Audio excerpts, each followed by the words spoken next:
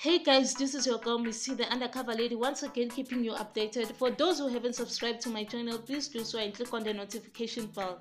So, ladies and gentlemen, as you all know that our fellow legendary Zimbabwean musician Oliver Mtukudzi passed away on the 23rd of January 2019, exactly one year after his friend and fellow musician Obabu Hugh Masekela. May their souls rest in peace. According to information shared on the Joburg Theatre website, there will be a memorial service held at the theatre to honor the musical legend on the 5th of February 2019 from 12 o'clock to 5 p.m. This service is open to public so anyone can attend. That's all for now. Please don't forget to subscribe and click on the notification bell to get notifications for my new uploads. Till we meet again, peace.